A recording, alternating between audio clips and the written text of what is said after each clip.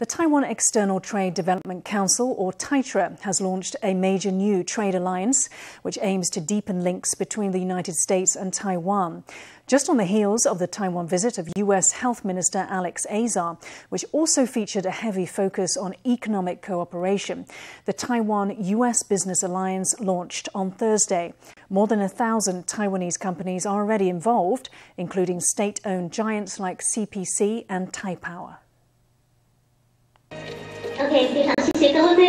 Led by Titra chairman James Huang, chiefs of Taiwanese industry line up on stage to mark the launch of the Taiwan U.S. Business Alliance. At the flick of a switch, the number 1,000 lights up, representing more than 1,000 Taiwanese firms that have already joined the alliance. 疫情趋缓的时候呢，能够尽速启动我们的行动。 uh, I hope that as coronavirus recedes, we can launch our action plan as soon as possible, holding workshops for Taiwan US Trade Exchange in Taiwan. We also hope to organize a trip to the US for our corporate members to support businesses to develop in the US market.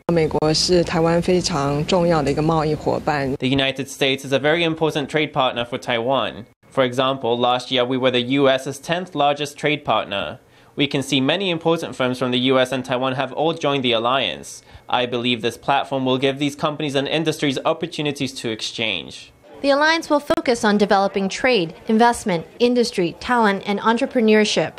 When the pandemic is in the past, organizers hope to set up a marketing center in the States and hold exchange trips with 500 American companies to catalyze collaborations. Before leaving Taiwan, U.S. Health Minister Azar spoke about the need for the States to establish strategic domestic production networks. Huang is positive about Taiwan's role in that process. One area is public health and disease prevention. Another is next generation communication technology such as 5G and data security.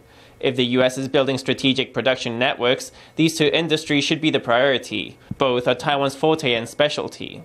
With Azar's visit focusing on trade developments and now the alliance forming, it looks like a golden age of Taiwan US trade may be dawning.